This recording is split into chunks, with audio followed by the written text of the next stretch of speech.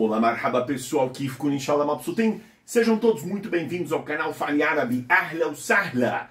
Sabia que a frase lema deste canal é Falar árabe não é difícil. E neste minuto e meio eu vou provar isso para você e ainda lhe ensinar algo incrível. Vem cá! Em árabe o verbo estudar é edrus. Repita e participe. Edrus. Para você dizer em árabe no presente simples, eu estudo, diga ana bedrus. Eu estudo todos os dias. Ana bedrus culhão.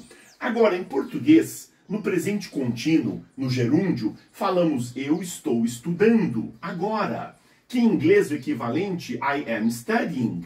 Em árabe, nossos alunos já sabem que o ser estar no presente não existe. Agora, olha que incrível.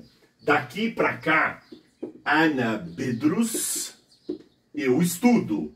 Para você dizer em árabe estou estudando, o gerúndio em árabe vai na frente. E você diz An'am Bedrus, eu estou estudando? An'am Bedrus. Viu? Falar árabe não é difícil. E até a próxima, inshallah. Um grande forte abraço.